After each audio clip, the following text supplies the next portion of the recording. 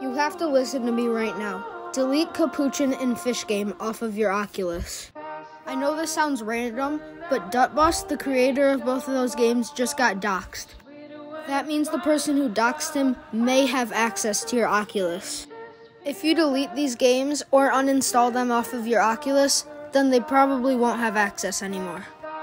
Lots of people are saying Capuchin is officially over and permanently done for. On the screen are more Discord posts explaining it, but I'm not going to read them, so pause the video if you want to read them. Be careful and remember to delete both of these games.